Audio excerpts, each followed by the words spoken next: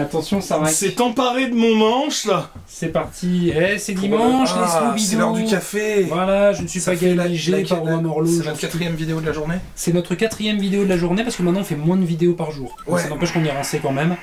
Parce qu'on sort de la période de Noël et que. Je voulais t'allais dire on sort de l'apéro. Non, il n'y a pas On a eu été sages. hein. On a été sages quand même cette année. hein. Aujourd'hui, on parle technique, c'est ça, c'est le. C'est comment on appelle ça? Le l'instant geek. C'est l'instant geek. Sais-tu ce que c'est que ça, Gaël?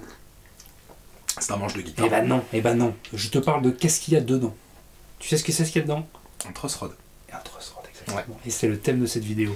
C'est incroyable. C'est incroyable parce que je voyais pas où t'allais. Je me suis dit ça Eh va nulle ouais, part son mais non, histoire. mais non. Ah, Et le en fait, cadrage ah, le l'ancienne- ca- ah, bah, c'est le cadrage, euh, voilà. de là, voilà. Attention à faire. Euh, Est-ce que ce deuxième. ce Alors, deuxième euh, meuble, pour régler le manche, c'est facile. Tu prends, euh, tu tires comme ça. hein. Alors, alors vite flash, on l'a fait ultra fast extra express parce que on a. Non, non, je savais quoi. Je voyais le machin Ah, sur le chiffre tarter les boules, quelque chose de. Non. On a entendu, tu sais, le, le bruit des boules de pétanque qui s'entrechoquent.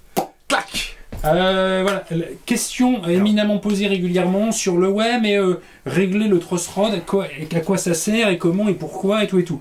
Alors bien évidemment, euh, vous faites comme ça, vous prenez une clé, vous faites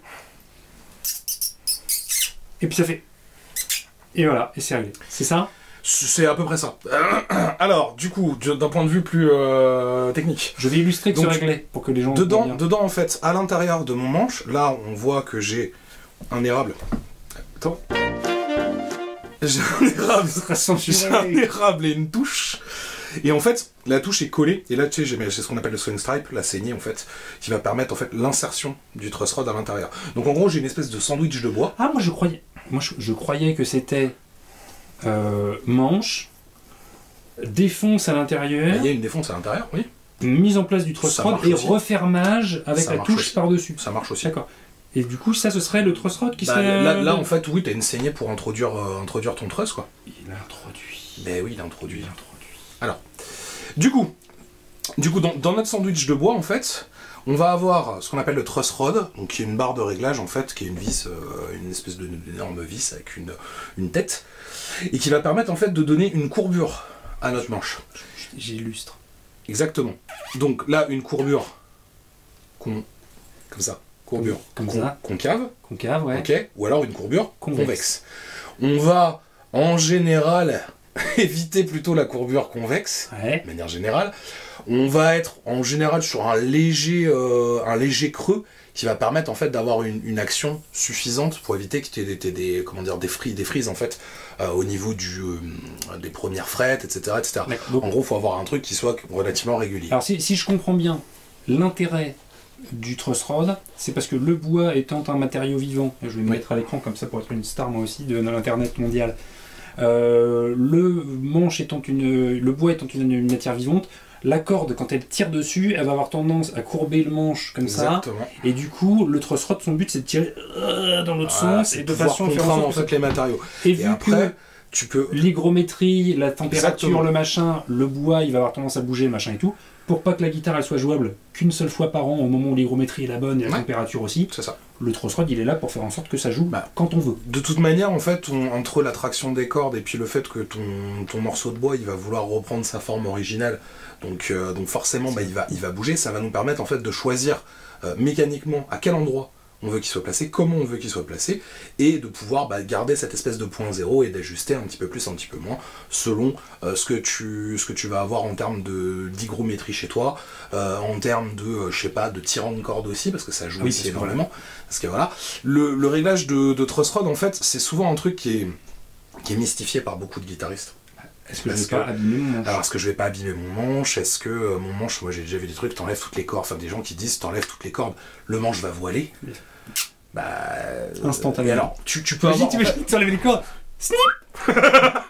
tu, tu peux avoir en, en plus tu peux avoir d'autres euh, d'autres soucis c'est à dire qu'un manche qui à la limite qui va faire ça ou qui va faire ça bon euh, ok très bien tu changes tes cordes tu vas le régler tu vas le ramener à peu près à ton point zéro et ça va aller après tu peux avoir d'autres problèmes si par exemple tu vas commencer à vriller D'accord. c'est à dire que tu vas avoir une vrille de touche etc donc là En général, c'est des trucs qui sont un petit peu plus compliqués. Ça se, ça se voit en général quand tu, quand tu regardes ton, ton manche comme ça, parce que tu vas voir la, la vrille euh, se, se, former. Tu vas, le tu vas le ressentir au niveau du jeu aussi, parce que si tu as beaucoup d'actions. Il y a des endroits où ça frise à un bah, endroit, t'as, des endroits, en fait, tu as beaucoup d'actions et ça frise, des endroits où c'est très bas alors que t'es à donf, etc., etc. Donc ça peut arriver. faut se rappeler que bon, bah, c'est un matériau qui est vivant, donc et qui se déforme plus facilement que du métal. Question pratique. Monsieur tout le monde, est-ce qu'il a besoin de toucher son truss rod régulièrement? Régulièrement non. Après, encore une fois, ça dépend. Toutes les guitares sont différentes, toutes les hygrométries sont différentes. De temps en temps, c'est pour ça que moi je conseille euh, aux gens d'aller faire euh, régler leur guitare régulièrement, parce qu'une guitare, plus elle est réglée, plus elle va être, euh, comment dire, simple à régler. C'est-à-dire qu'à la fin, tu ah. auras un petit ajustement à faire, les, pièces ont l'habitude de travailler et tout et tout. J'ai eu le cas encore il n'y a pas longtemps. Vaut mieux que le bois soit contraint dans la bonne position le plus longtemps possible, à faire un petit ajustement de temps en temps, plutôt qu'elle est bah, vieillie dans la cave pendant 4 ans, que le manche soit comme ça, et que le jour où tu le sers, le bois il va faire. Et voilà, et puis bah, il va surtout il va, il va, il va bouger dans un sens ou dans l'autre. J'ai eu le cas il n'y a pas longtemps sur un client qui m'a ramené une Telecaster, une Fender Light H, donc euh, en freine léger avec manchera touchérable. Mhm. Il l'avait acheté il y a 10 ans, il n'avait jamais vu un luthier. Ça a été une galère pas possible. Il a été obligé de me la ramener pour recorriger un petit peu le manche parce qu'il avait vraiment bougé beaucoup. Quoi. Donc monsieur tout le monde, globalement, devrait pas avoir tant besoin que ça de le faire. Encore une fois, c'est s'il y a un problème. S'il y a un problème, en fait, c'est ça. C'est-à-dire qu'on va pas toucher un élément par, par juste par envie de toucher. Alors après, on peut. Ceci, c'est nous. Ceci, voilà, parce que nous, on est un peu cons, mais ça, c'est autre chose. Euh, mais du coup, ça peut être bien sur une vieille guitare, un martyr, etc. Juste pour observer ce que ça va faire je mets un tour de clé dans ce sens-là, qu'est-ce qui se passe? J'en mais deux dans ce sens-là, qu'est-ce qui se passe? Je mets dans l'autre sens, qu'est-ce qui va se passer et tout. Là, en fait, l'idée de cette vidéo-là, ça serait plutôt de dissiper le truc de euh, oh là là, euh, est-ce que, je risque pas de péter mon manche? Faut franchement y aller vraiment vraiment violemment. Alors moi j'ai ramené ça. Moi j'ai ramené ça pour ça parce que voilà, alors Gaël a l'habitude de régler les grattes, euh, guitare tech, tout ça, tout ça, de métier, tout ça, tout ça. Moi non, ça n'empêche que je joue avec mes truss rods de temps en temps quand j'ai la bonne clé. Et sur réglet me sert justement. C'est-à-dire que ce que je fais, c'est que euh, je pose mon réglet, je regarde où on en est en termes de, de fret, tout ça, tout ça, et je tourne mon truss rod un petit peu, et comme ça, ça me permet de regarder à quel point ça a bougé ou pas. Déjà pour savoir dans quel sens, parce que mmh. toi de tête tu sais que c'est dans quel sens. Moi j'oublie à chaque fois. Donc le premier quart de tour et les deux premiers quarts de tour, je regarde en me disant ah merde ça part pas dans le bon D'où le réglé qui peut être euh, intéressant. Bah, tout, tout, ce qui va te permettre de t'aider. Alors si après si t'as pas un réglé aussi long, tu peux aussi, mesurer ton. C'est pas la taille. C'est pas la taille qui compte. d'accord, c'est l'odeur.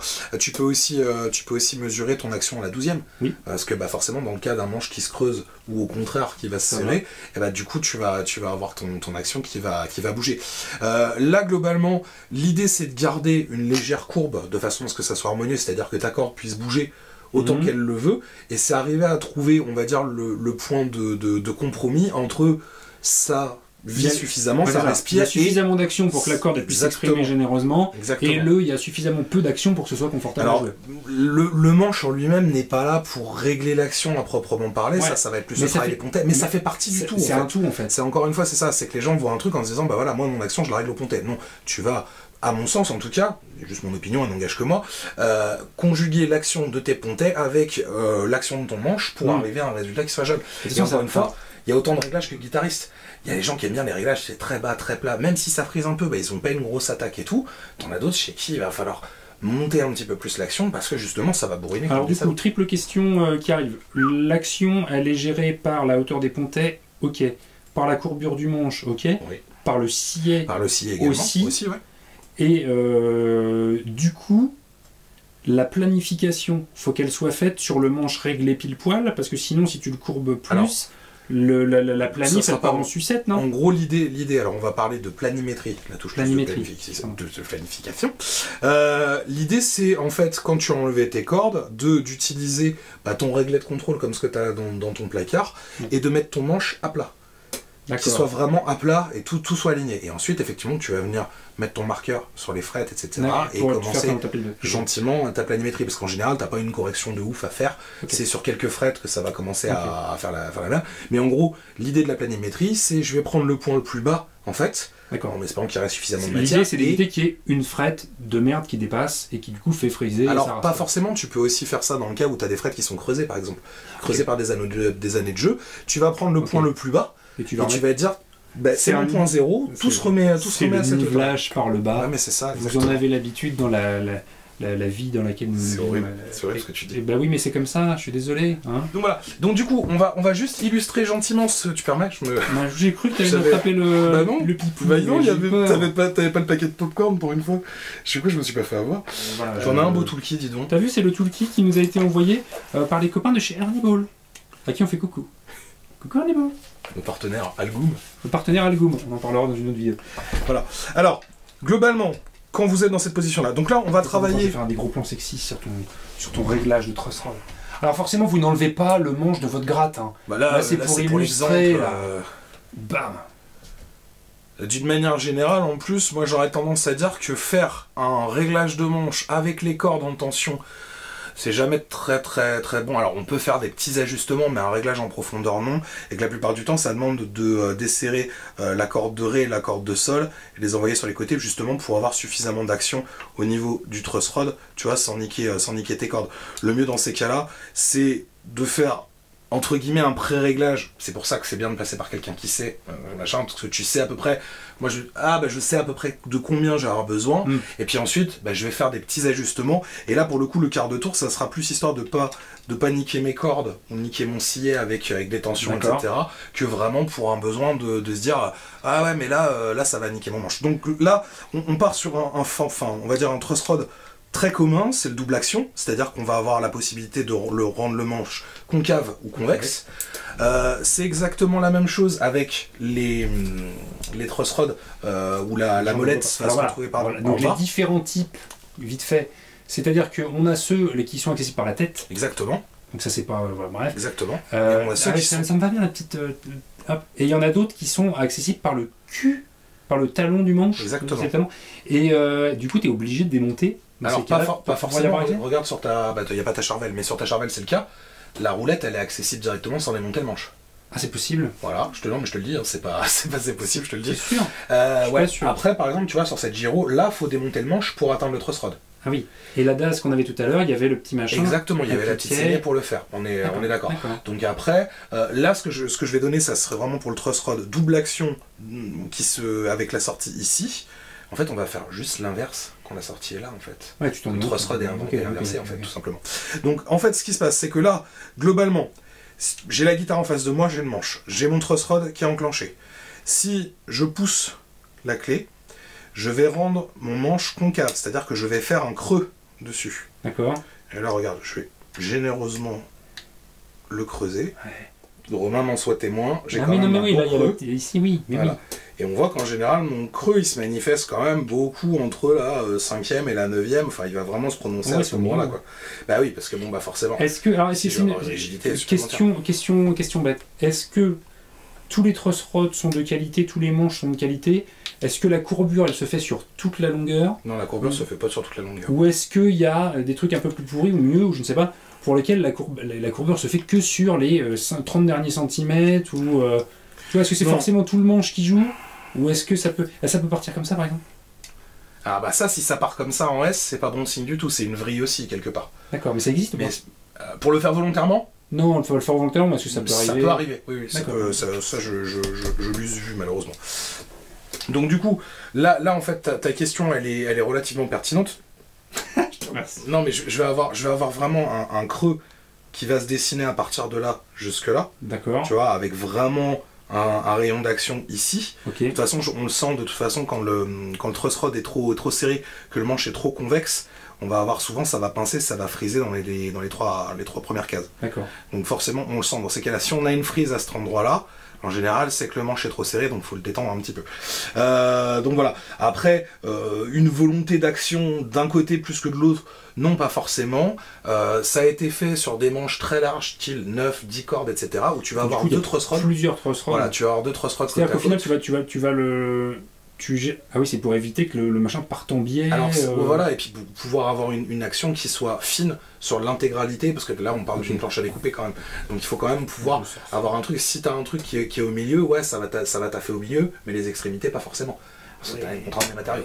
Donc voilà. Donc là, globalement, l'idée, elle est, elle est relativement simple. J'ai ma clé, je pousse, je vais le rendre concave, donc je vais faire un creux. Je tire, je vais le rendre convexe. Ok. Voilà globalement comment ça marche. Donc là, c'était le petit, le petit tips d'aujourd'hui, comprendre comment, comment ça fonctionne. Alors, il y aura certainement plein de questions. On n'est pas allé jusqu'au bout des choses. En situation, comment ça se passe sur une guitare, comment on fait. En situation, comme on l'a dit tout à l'heure, c'est un équilibre de plein de trucs. Mais bien entre sûr. le sillet, les pontets, Oui, qu'est-ce que j'aime, qu'est-ce que j'aime pas. Ah oui, les gens veulent des Mais réponses oui, les gens précises veulent à leurs questions. hein. à leurs questions. Donc voilà. Donc je te propose, si ça leur dit, qu'on fasse une vidéo jusqu'où on peut aller. Est-ce que ça vous dit, on fait un, le grand écart, le max du truc jusqu'à l'autre max du, dans, dans un sens, et voilà. Et puis éventuellement, on fait une vidéo. euh, le dit en commentaire. qui nous, dites-nous, dites-nous. dites-nous. Euh, bonne fin de journée, laisse le vidéo. À jeudi.